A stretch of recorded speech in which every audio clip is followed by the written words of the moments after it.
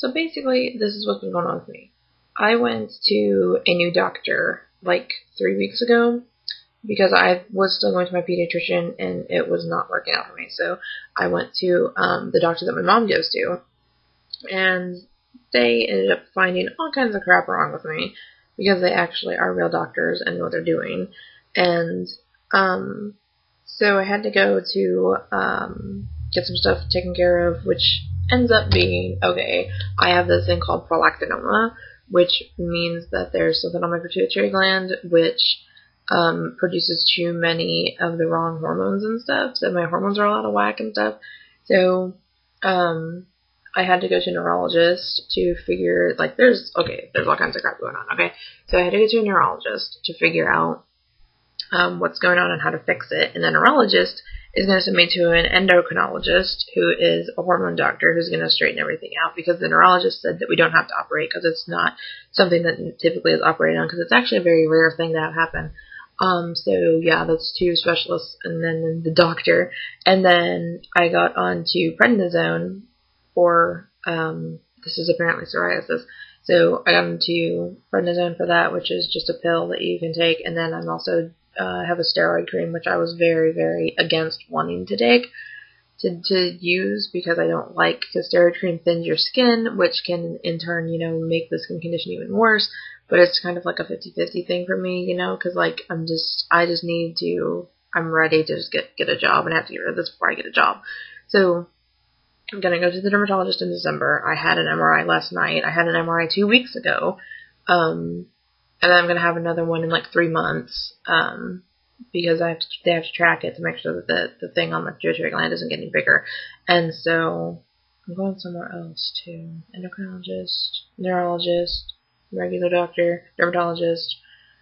Um, oh yeah, and I have to go to um, I can't remember the technical name for it, but it's, it's like an actual fancy eye doctor that's not like an eye mart. Um, an op- an ophthalmologist, I think is what it's called. Um, it's a it's a fancy eye doctor. It's actually in a hospital.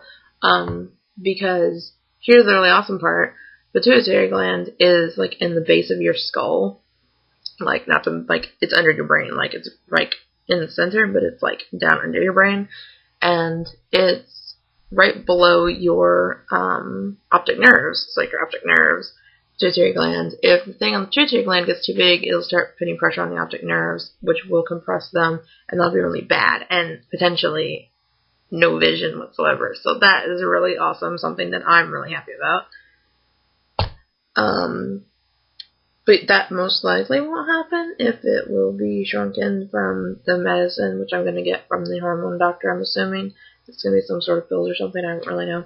Um, but yeah, so I have to go to the ophthalmologist or whatever you call it, the eye doctor, to get a like what's called a baseline reading of my vision because my pituitary vi- my pituitary vision my I can't even think what it's called. This vision over here, your um, like the side vision, whatever it's called. um, some B word is the first thing to be affected. So they're going to get a baseline reading of that, and if that starts to become any different, then that means that my optic nerves are being compromised, which would be a horrible, horrible thing to even think about. And so, um, then that would be an issue, and then they would have to operate probably. But the thing is, they don't usually operate because they don't usually ever get it all unless they get all of the mass on the pituitary. It's still going to be producing too many hormones, and it's still going to start growing again. It's going to affect my vision again, and all kinds of other crap. And it's just so that's what's been going on with me. Um, I haven't been busy with anything else but this. Basically, like I was looking for a job before this, and I was, you know, actually considering like starting to live a life, and then this happens. So that's fun. So I can't do anything until I get all this taken care of because I don't know if I'm gonna have to have surgery in a couple weeks or a couple months.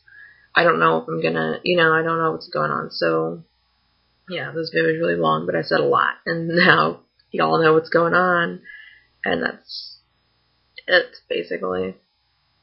And yeah, five minutes long. That's really awesome. Um, now they didn't post a video this week. Shreya had candy, which I think it was just chocolate covered pretzels, but it still looked good.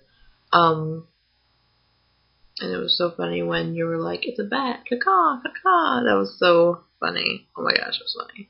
Yeah, we did get into a lot of deep crap with that conversation, didn't we? Because we had like a really light conversation, then we had like a really deep conversation. It was kind of weird. We kept going back and forth, but I like when we do that because we do that a lot when we talk. Actually, Ghost Hunters was fun. Uh, it ended at midnight, which was weird. Um, it was a six-hour investigation. I think they were going to investigate more after it ended, but the live special ended at midnight. Um, my mom was asleep by like twelve ten, and so like I was just like awake and ready to talk to people, but I don't think I talked to anybody. I don't remember talking to anybody or doing anything special at night. But story of my life. Um, yeah, it's like seven minutes. This is for Donkey Kong, so I'm gonna edit this hopefully below seven minutes, and uh, I'll talk to you uh, Monday and Wednesday. I guess probably, hopefully sometime over the weekend. Probably not Natalie because Natalie's never freaking online anymore because she's so freaking busy. But good for you, whatever. I love you, girls. Bye.